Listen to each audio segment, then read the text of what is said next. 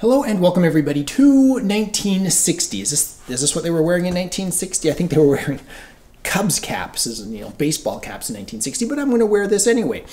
So, what happened in 1960? Who won the Masters? Let me see. Oh, Arnold Palmer. A short while later, who won the U.S. Open? Oh, Arnold Palmer. What kind of irons were he playing?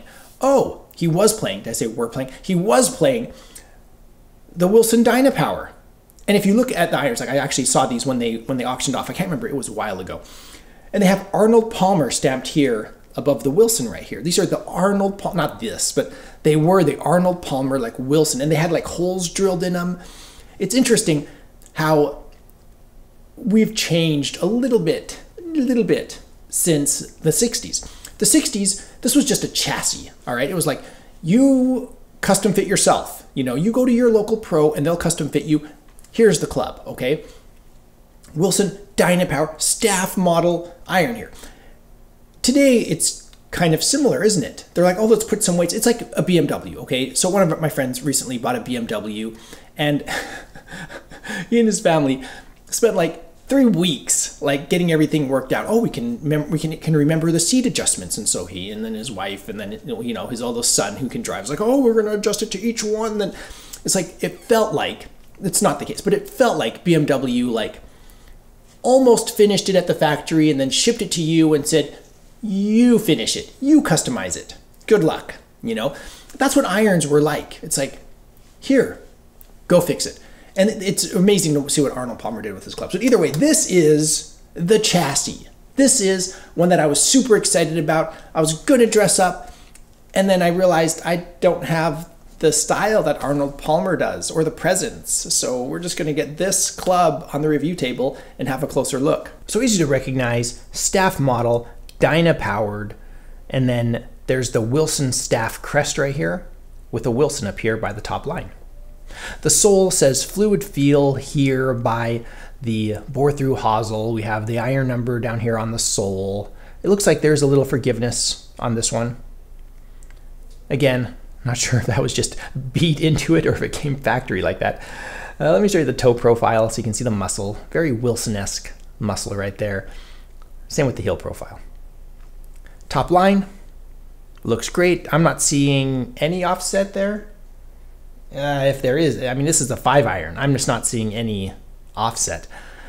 And if we look at my strikes, you'll watch that here in a minute. I, I'm missing a little bit heel, which is funny because when you look at the Arnold Palmer one, if you search it, you'll see the Arnold Palmer one. I'm probably not even going to roll in any pictures. I think it was from an auction site.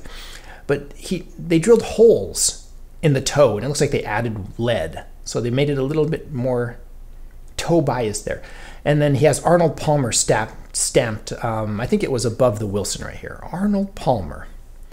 It's lovely. His irons are lovely. Either way, moving up the shaft, we have, you know, obviously it's pinned.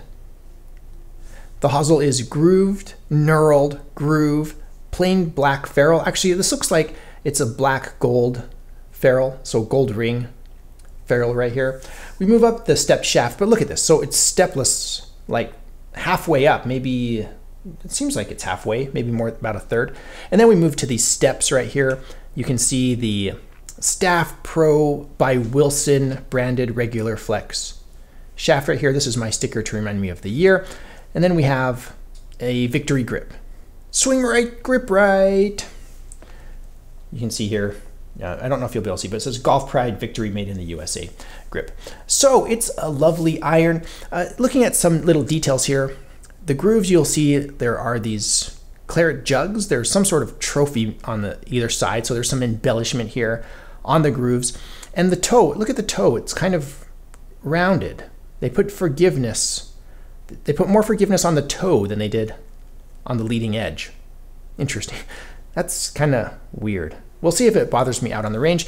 Let's show you the footage of when I took this out and hit a few balls with it. Wilson Dynapower 5 iron staff model right here.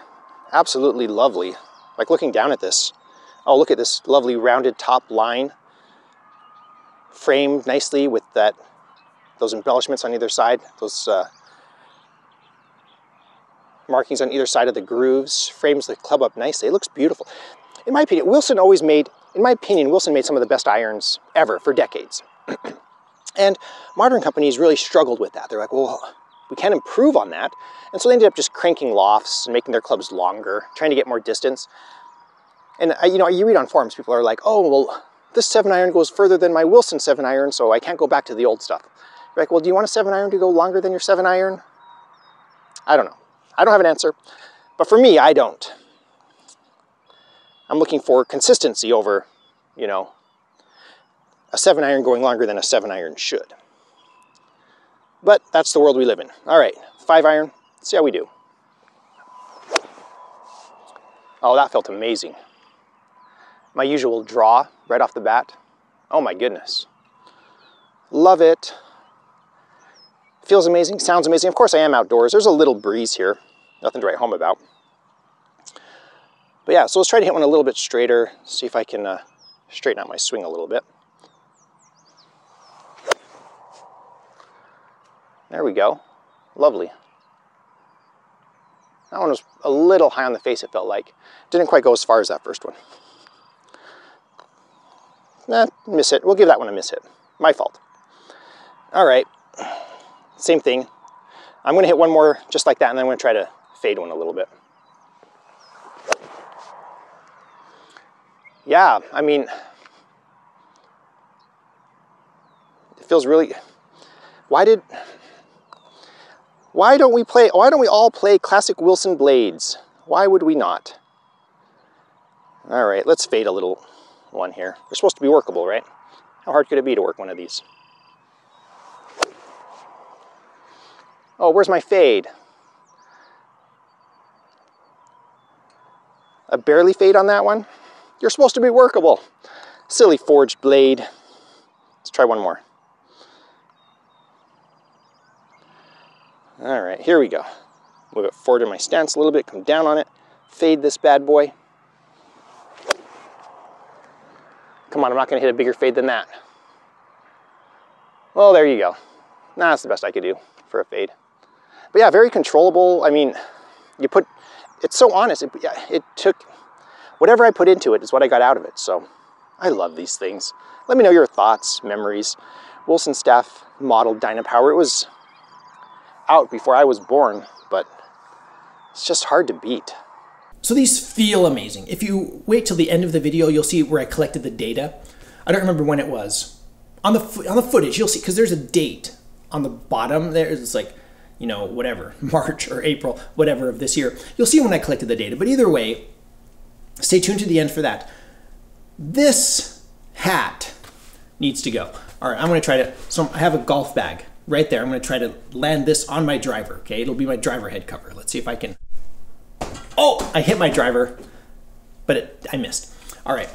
So I was, uh, I'm glad it just barely occurred to me I could have knocked over my whole bag. That would have been a loud clanking noise on screen.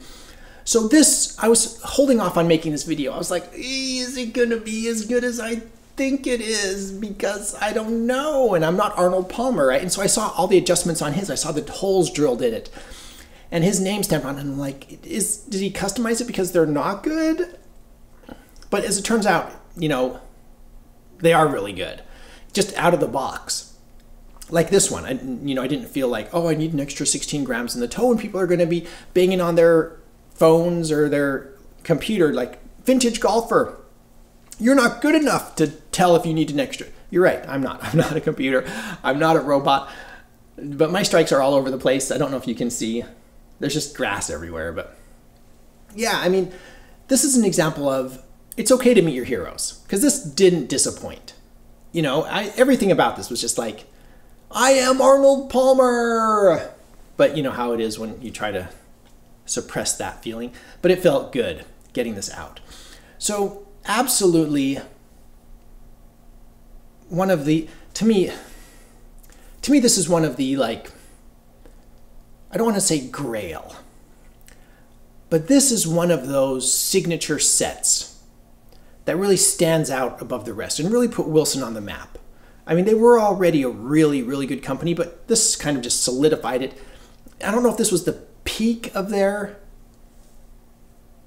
their status because there was not much competition back here. Ben, the, the brand Ben Hogan hadn't really established itself. And these were just so amazing. Their woods were laminate and okay, but these to me are just like one of the most desirable, interesting Wilson sets out there. And last time I checked, which was a while ago, you could still find sets of these at you know afford uh, at prices that I wouldn't mind going out and playing them. Again, I'm not going to be playing them every week, you know, just occasionally when I feel like a vintage set, I'll I could take these out. Absolutely lovely, stunning. I can't. Yes, yes. Buy a BMW and make all the adjustments that you need. But this, I would buy it. I would not make adjustments. I would just leave it as is and just go enjoy a vintage set of Wilson clubs. Let me know your thought. Let me know your thoughts, memories, jokes about the Wilson Dyna-powered Fluid Feel 1960 staff model irons. Oh, I, I absolutely love these. They're, they're, I, I'm keeping. I, I keep. As usual, huge shout out to my patrons. Thank you so much for your support. I really appreciate it. If you want to support this channel in another way, you can visit my Amazon shop. I'll put a link in the description below. These irons are not available on that Amazon shop, but like I said, I am an Amazon associate and make proceeds from qualifying purchases. Thank you everybody for watching. I am the Vintage Golfer.